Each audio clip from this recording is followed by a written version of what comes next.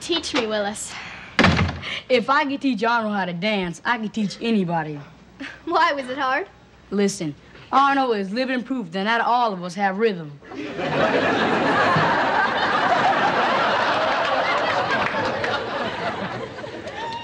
okay, Emily, let's see you move. Promise you won't laugh at me. I won't. Not too bad. You just gotta loosen up a little bit like this.